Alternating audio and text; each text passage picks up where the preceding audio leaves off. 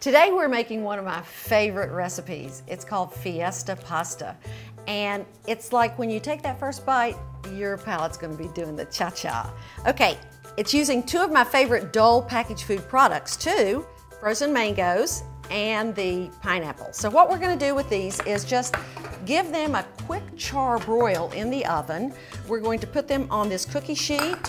While the Dole products are just fabulous as is. We're gonna just kind of intensify the flavor with some charring. We're gonna add a little sea salt.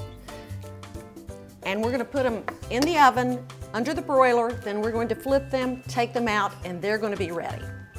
So we've got some garlic and um, shallots kind of sauteing here. We're gonna put in some corn.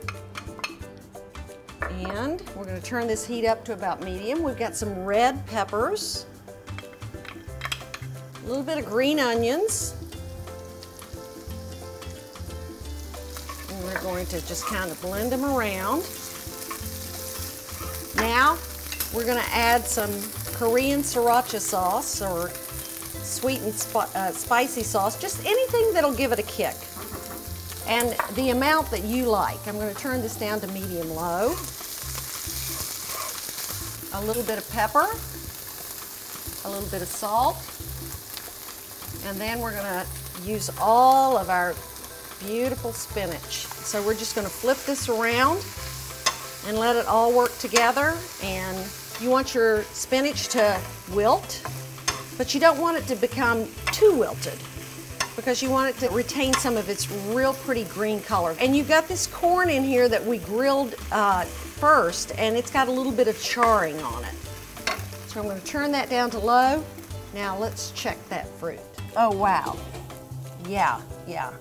That's looking real good.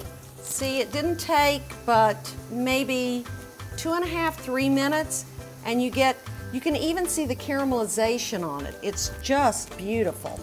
And I'm gonna take this, and I'm just gonna scoot them around.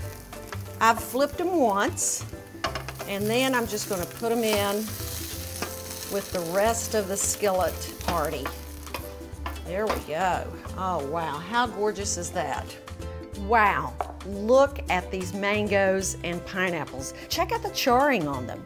This just intensifies the fabulous flavor. So we're gonna toss this all together. And we've already got great flavors. We've got what I call the flavors. That's sweet, salty, smoky, and spicy. You're gonna love it.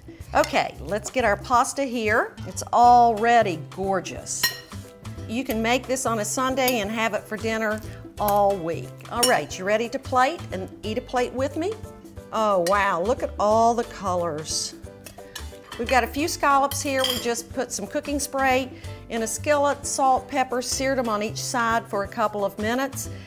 And we're just gonna pick these scallops up with our fingers because you're in your own kitchen. You can do anything you want. That's the thing about being Dole Boholicious. It's about making the food your own and turning it into how you love it. This is wonderful. Now for all the ingredients and the recipes, head on over to recipes.dole.com and remember, add a little soul to your cooking with Dole.